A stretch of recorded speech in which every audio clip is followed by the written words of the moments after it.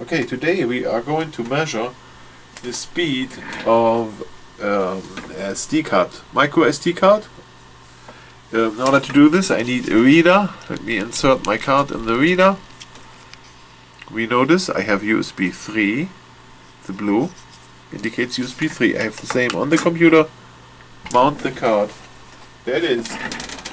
We need to format this card first before we do this.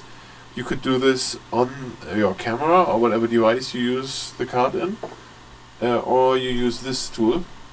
Um, I can show you in the description of this video where to download this for free, Mac or PC. You can read on that website why you should use this tool or the camera or device you have to format the card. Let me do this quickly. It's a quick format here, format complete, done. Okay, a formatted card. Now we do the test, the software test, the system test. We're gonna select the card. I use on purpose a small memory, a, a, a small amount of data we write to the card. Um, the card is selected here, okay, so we go 1080p. You can select other sizes of video frames you want to write to it. Let's do 1080p.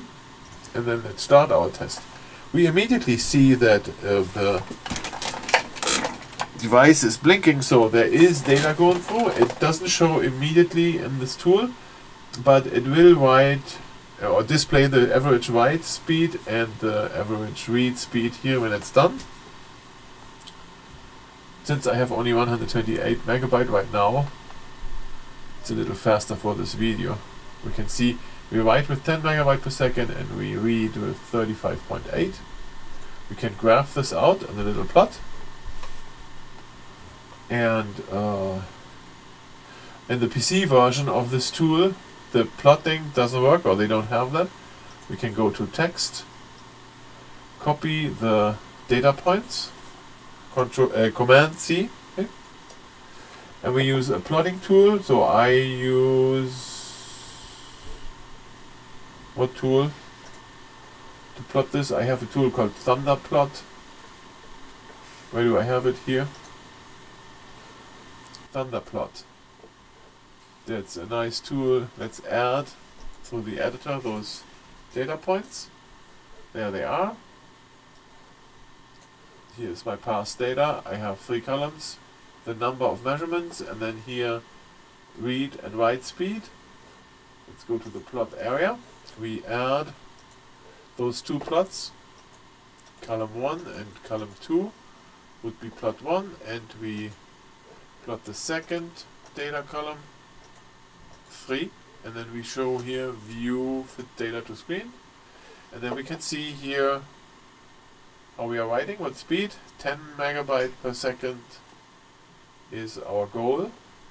To have a fast video and this is our read speed here. So we have a good plot. Right so this card will work pretty good. Now you should try to uh, write more data to it like 2 gigabytes or 4 and then you get more data points and so your graph becomes more accurate.